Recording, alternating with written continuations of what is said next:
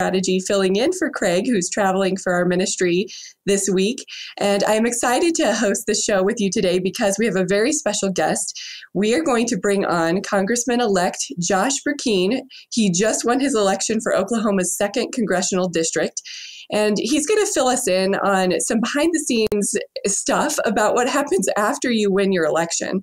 Uh, oftentimes, after we, we pray for the election, sometimes we even get involved in elections in specific races. In this case, we actually endorsed Representative Josh Brecheen all the way back from when he was running for the primary. Um, and so now we're, we're excited to hear from him and what it really means and what happens after you win an election.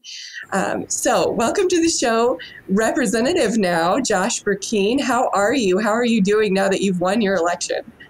Uh, I'm, I'm blessed, uh, honored to join you. Uh, I am a fan of FPA, and uh, Autumn, it is intense. I got elected, got a, a plane at 4 a.m. the next morning, and have been in DC ever since, meeting after meeting after meeting, and um, got another several days of meetings. Look forward to getting back and seeing my family. Um, it uh, they, they say it and you hear it 10 times if you've heard it once today that you're drinking through a fire hydrant trying to learn uh, not just where the bathrooms are uh, parking garage uh, how to get to an office not just your office which we don't even have yet. Um, and uh, just you know high high number of people that you've never seen. There's 435 members of congress not not not to mention all their staff and uh, trying to put put names with faces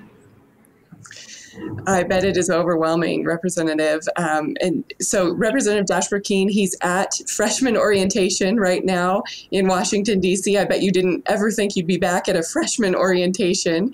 and so, we need you, we need you all who are watching to please lift up Josh and his family as they go through this new journey of becoming a, a newly elected member of Congress. Um, so, please also like and share this video because we want others to uh, hear about what it's like to become um, a Christian who's a newly elected member of Congress. Share this with your friends. Um, please like if you hear something that Josh says that's interesting that you are enjoying hearing. Um, but Josh, let's let's back up for just one second. I want to hear, and I think our viewers would really enjoy hearing why did you run in the first place and what is it like to run for congress as a, uh, someone who's a believer and centered on the values that we all care about so, I, as some on the, the call with FPA know, um, I had been um, in discussions about starting a family policy uh, council in Oklahoma for a number of years. Uh, a mentor of mine, uh, Tom Coburn, former United States Senator, uh, who's a friend, he had encouraged me to do that. In fact, my very last conversation with Tom Coburn before he passed away via email was, What about focus? And he was talking about, of course, FPA. And so I felt like that maybe I was supposed to get back into public policy after leaving the state senate, starting a small business, a dozer excavator uh, trucking business, and um, was kind of moving that direction. Um, as a person that believes in Proverbs three, five, and six, it says, "Lean not on your own understanding, but in all your ways acknowledge Him; He'll direct your paths." I felt this, this, uh, you know, that that still small voice as a Christian that okay, I'm, I'm open, Lord, to get back involved in, in public policy. Um, knowing that Psalms 20 says, "In His name I will raise my banner." Um, that that uh, conversation happened for a couple of years, and and when this seat came open, I had set all the groundwork for kind of setting my heart in that direction. I told my wife, I said, maybe this is what we've been waiting for. Maybe maybe this is what I'm supposed to do. Maybe this the sensing I'm supposed to get back involved in some public policy. Maybe it's this my wife uh, was dead set against it. And so praying and fasting off and on for a number of months. Uh, 13 people had already gotten in the race. Two days before the filing deadline, my wife looked at me and said, I'm getting a peace about this. Um, we have we had like a six month old at home. It was a huge decision. And uh, I said, Is that a total yes? And she said, Well, not total. Maybe I'm getting there. Three hours before the filing deadline, I'm in Oklahoma City waiting on my bride to tell me what should we do and uh, she said go file. I was 14th out of 14, had no money, had no consultants. Uh, it's a miracle that, that I got through a 14-way primary. Um, it was nothing but but uh, believing in Psalm 75 that promotion doesn't come from the east or the west. Well, I love hearing about that, Representative, and I know uh, those watching will enjoy hearing about that as well, what it's like to run as, as a believer.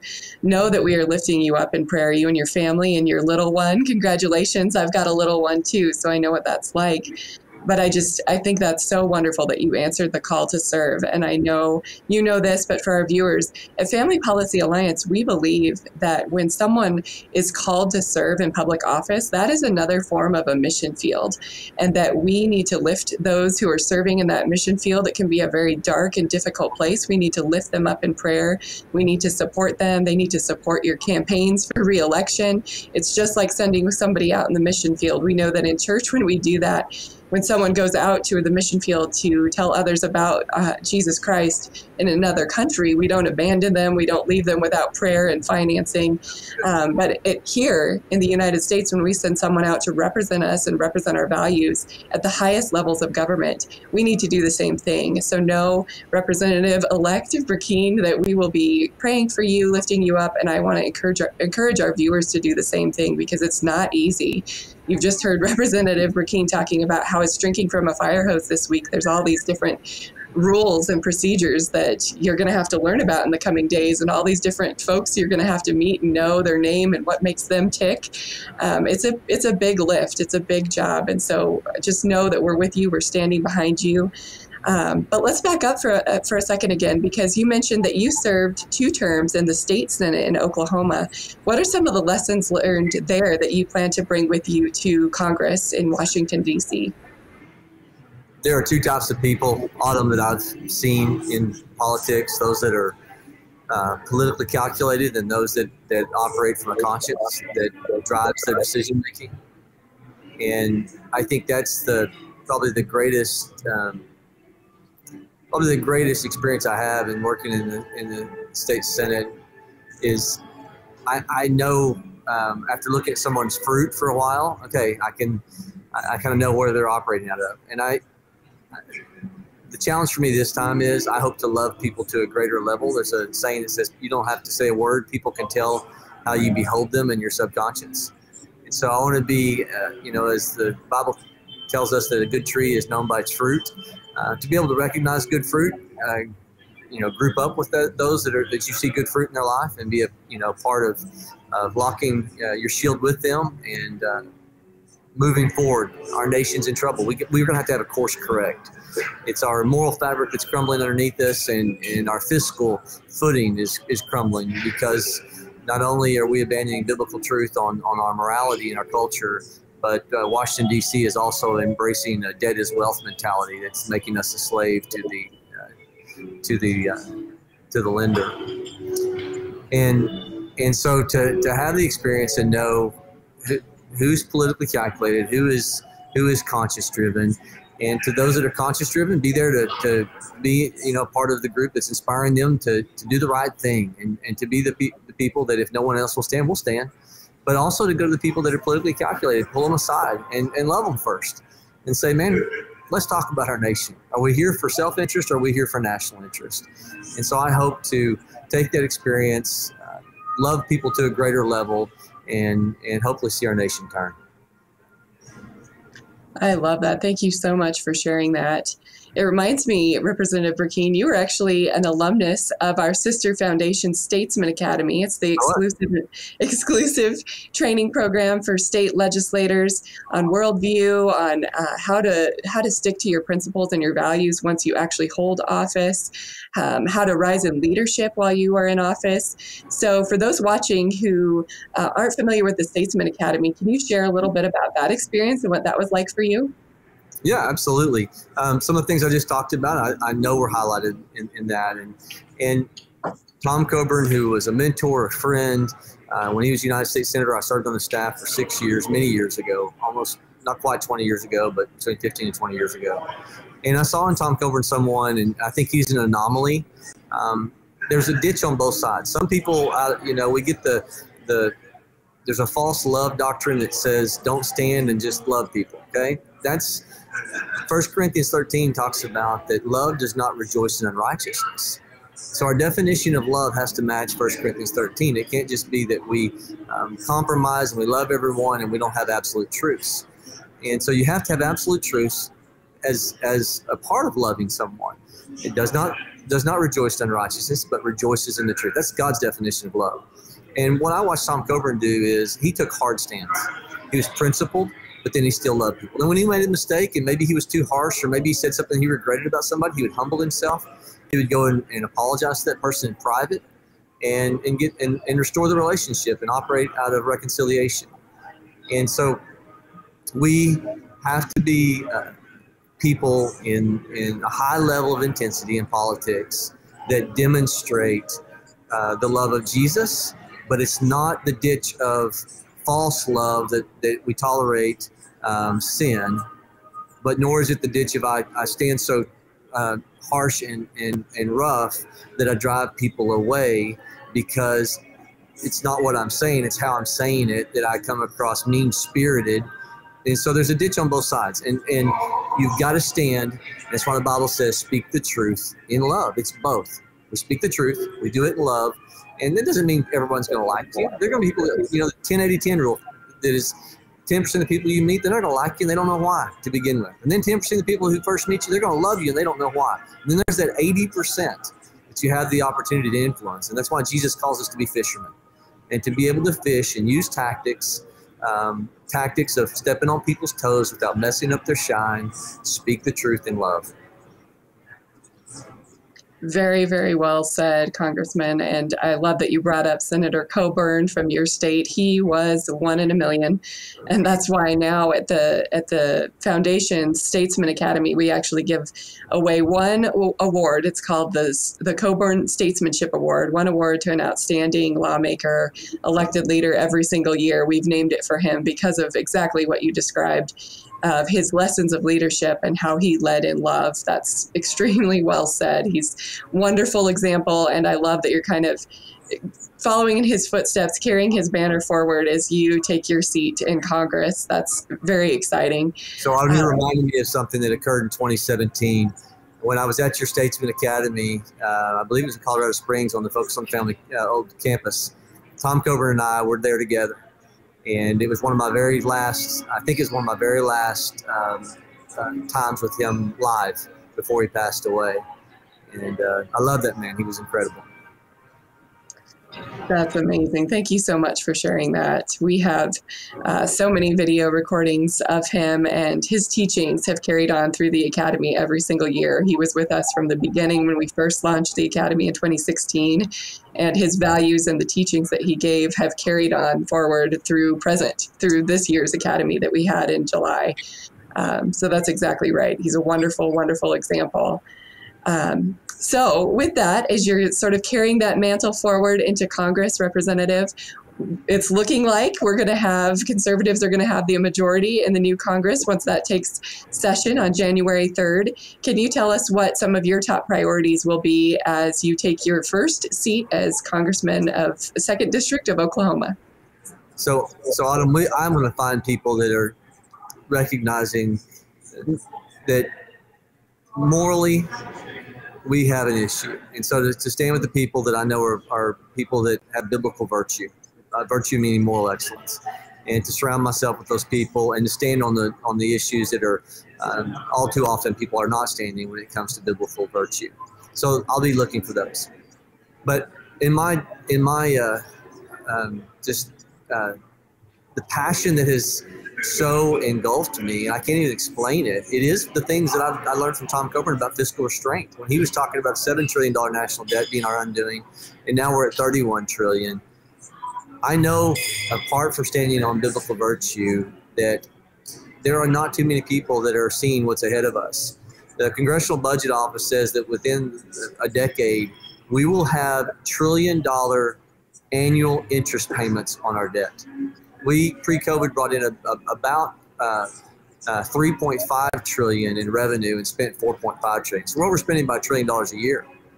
But by the end of the decade, CBO saying we're going to be just spending an addition, an additional from what is 350 billion now to a trillion dollars on interest payments. It's not sustainable.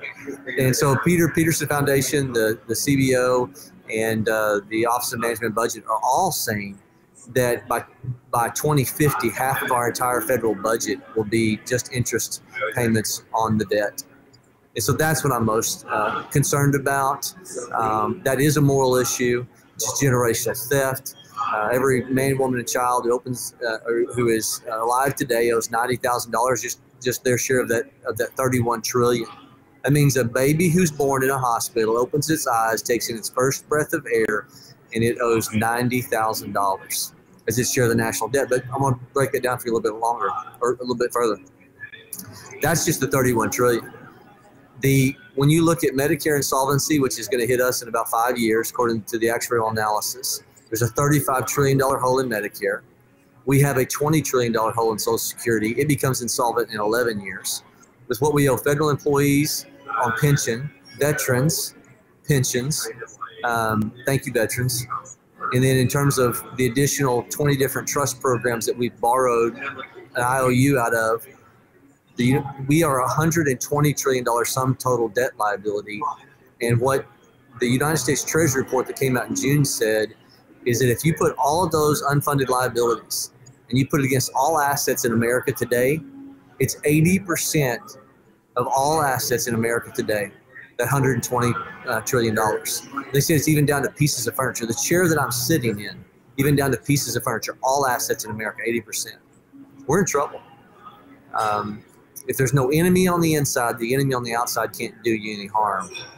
This structural deficit, annual uh, debt loading, and selling our children into bondage, we've got to address it, and we've got to have courage to do that. And it's going to take making cuts. And nobody wants to hear that, but the only way that we're going to be able to get out of this is yes, have a, a roaring economy, but we're also going to have to cut the, the, the behemoth of the federal government that that uh, we're replacing our dependence on on God, and, and we become a, a, nation that is dependent upon the, the dole of the federal government. Those are staggering numbers, Congressman. Thank you for sharing that. Thank you for making that a top priority. And I think you're right. I mean, we are pro life, pro family, and that is a pro life, pro family issue because, as you said, if we are going to be pro life, then from the moment that baby is born, you're saying, did you say 90,000? That's just the 31 trillion. You break the 31 trillion dollars down. That's that's not inclusive of the uh, of the other uh, 90 trillion of unfunded liabilities. That's just the 31 trillion public debt. And so that baby opens its eyes and takes in its first breath of air. I've got a year old. And when I would hold her praying about running for office, the question I could probably get emotional if I don't if I don't I almost stop myself so I don't get emotional saying this on this on this interview. And I do this when I am asked this question, but I'd hold her and uh, and I would uh, hold her and I would ask the question. Um, how can I be a good dad to you? But I knew the training I had with Tom Coburn, and I knew I was accountable for that. And I knew with what I knew, with what he was talking about, um, that he saw something that no one else was seeing 20 and 30 years ago.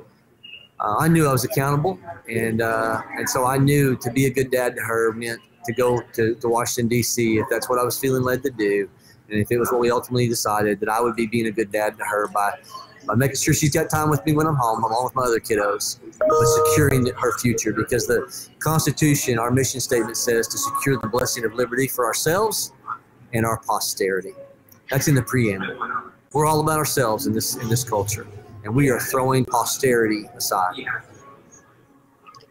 That's so powerful, Congressman. And that's right. We are pro life all the way through. And that means we want to make sure those babies have the right to be born, have the right to take that first breath, have the right to uh, the, all the, the opportunities that we want for our children. We want to make sure those are secure, that they have education that meets their needs, but also that we're not saddling them with mountains and mountains of debt. So that is that is extremely powerful. Thank you for taking that on. Um, I've got one last question for you, and we always like to end on a note of encouragement in this show. So, Congressman, it's a two part question.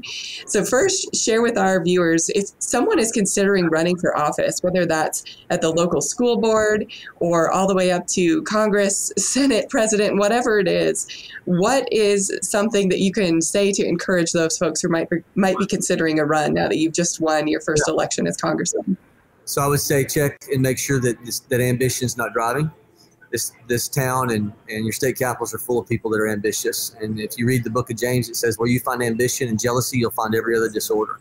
And I would tell you in my time in the state capital and what what little I know about Washington D.C. when I worked for Tom Coburn and what I'm experiencing now is ambition in politics is destructive. You know, ambition in the free market makes me hustle, makes me get up early. Um, that's that's that's a that's a type of ambition. But political ambition is where you put the your your own personal interest and your own climbing of the of the, the ladder and the rung ahead of what's you know in the interest of, of your state or in this situation I find myself in, in, in for the for your nation. John Adams uh, wrote a letter in 18 uh, early 1800s and uh, actually it was in the 1800s. It was 1798, just prior. And he wrote to the Massachusetts militia, and he says, "We have no government armed with power capable of contending with human passions, unbridled by religion and morality." And then his next statement him is, is where I'm going with this. He says, "Avarice, which means extreme greed, which is I will contend is why we uh, have the debt loading that we have. Avarice, ambition, and revenge and gallantry will break the strongest cords of our Constitution as a whale goes through a net. Our Constitution was made only for a moral and religious people. It's wholly inadequate to the government of any other.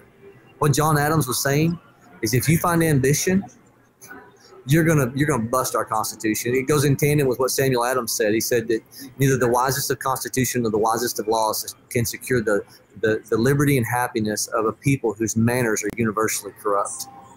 And so, to be someone who has a biblical worldview, are you driven by your own ambition? Are you driven by Proverbs 3, 5, and 6, which says, Lean not on your own understanding, but all your ways acknowledge Him, and He'll make your path straight? And so, if what you're doing is because of a calling, God will have your back and He'll go before you. If what you're doing is out of ambition, and you go, Hey, God, I'll kind of cut a deal with you.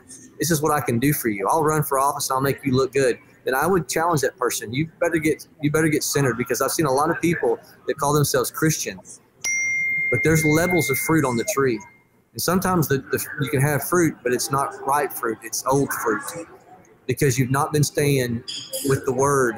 Psalms 1 Blessed is he who sits not in the council of the ungodly, or stands in the path of sinners, or, or sits in the seat of the scornful, but his delight is in the law of the Lord, upon which he meditates day and night. For he will be like a tree firmly planted by streams of living water. You better make sure on a daily basis that you are in touch with your Savior, that you have a personal relationship because ambition is going to be knocking at your door. you better close the door on that because too, too often people choose the path of ambition over conscience. Oh, if I get this chairmanship, then then I'll be more effectual. Well, what Tom Coburn taught me was leadership is not a title. Leadership is what you do. And uh, I'll end with this uh, Dr. Coburn used to take Martin Luther King Jr.'s quote, which said that cowardice asks the question, is it safe? Vanity asks the question, is it popular? But conscience asks the question, is it right? And if you'll be led because you've submitted your life to Jesus, and you submitted your life to his following, and you'll be led by uh, what you know is, is uh, God's prompting, not your own selfish ambition prompting, then you'll stay the course. Um, but there's one thing to say I'm a Christian, it's another thing to let the, the Lord truly be Lord and let him lead. Amen. Representative, I think you just preached a sermon, even though you're an elected leader. I think you just preached a sermon for us. That's so good.